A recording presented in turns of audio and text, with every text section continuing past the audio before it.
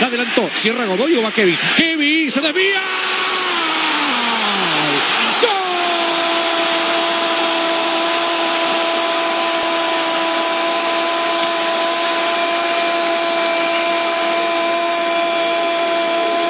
de Sarmiento, que fue, buscó, lo buscó a Mercado y encontró a Kevin.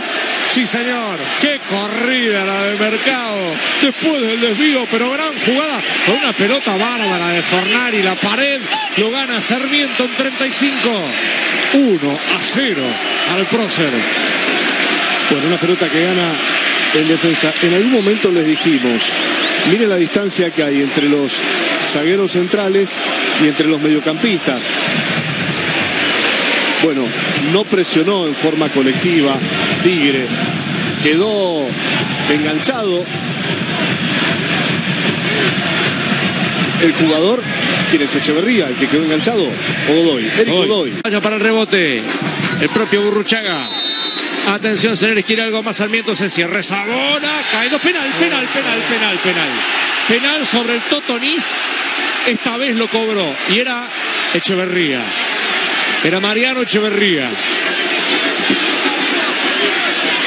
Al matadero Echeverría. Y ahora, ¿quién tomó a quién? No, me da la sensación de que se tomaban, se cae el de Sarmiento y se cae arriba Echeverría. A ver. Penal para Sarmiento sobre el final. Siempre hay tiempo para más, ¿viste? Sí. Es penal. Señores, es Maxi Fornari. Lo mira Echeverría y dice: Sí, no, no lo mete. Le decimos Fornari. Fornari, gol.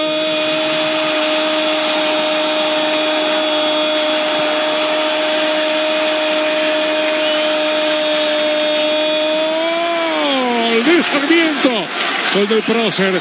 Se lo gana Tigre 2 a 0 en el final de este primer tiempo con gol de Fornari de penal. Chiquito Fornari. Maxi, Maxi, Maxi Fornari. 2 a 0. La primera media hora fue para Tigre, que no supo aprovecharla. Los 15 minutos, superioridad, los 15 minutos finales, superioridad de Sarmiento, que logra sacar esta ventaja de dos goles, impensadas en la mayor parte del desarrollo de esta etapa.